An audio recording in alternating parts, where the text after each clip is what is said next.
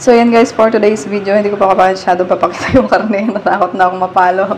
May palo pa ako. So, yan guys, maglalaga tayo ng pata for today's video. Alam mo, sa dami ng problema natin sa buhay, no? Talagang kasama sa pinoproblema natin yung iuulam natin araw-araw. Yung nagluluto pa rin tayo ngayon. Pinoproblema na natin yung iuulam natin mamaya at para bukas. Ay, Diyos ka po, daming problema sa buhay. Ay! Nakikita niyo ba yan, guys? Tanggalin nyo yan because yan ay dumi. Ayoko nang madumi. Charis. Tanggalin nyo yan. Kasi ano to, parang latak, latak, ganun. Tanggalin, tanggalin ang dumi. Yan, malinis na. Charis.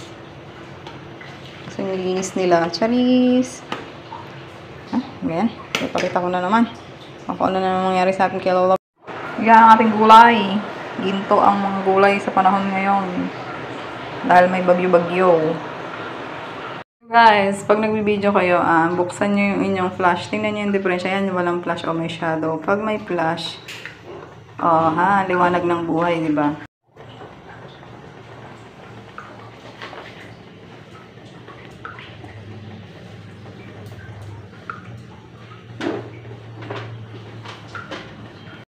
Nilagay ko lang ang kalabasa, guys. Lagay natin ang saging. Para sabay silang maluto. Saging, saging, saging, saging, saging, saging. Charis. Parang kaldero, guys. Kala ko kasya dun sa mas maliit. Kala ko lang pala. eh. Okay, nakakatamad na mag ganito-ganito ah. Hirap-hirap mag-edit. Lagi ka ng violation. Yeah. Sige lang. Vloggers, vloggers lang tayo. Bagay, hindi pa naman uso yung mga monetization na ganyan. Hilig na akong mag-post-post kinene. Ay.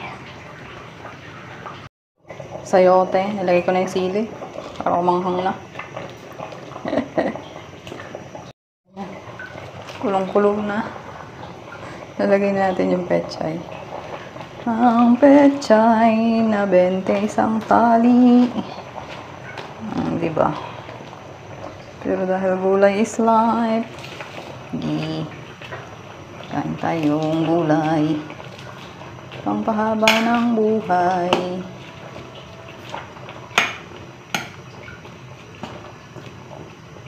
Pakuluin lang natin isa guys. Patayin na natin kasi yung init ng kalan meron pa yan. Kaya tuloy-tuloy pa rin ang kulo niyan.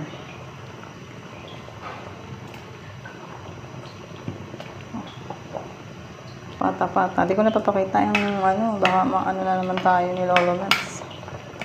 Basta yan. Ah. Higop tayong sabaw. Kain tayo. Kain tayong nilagang pata.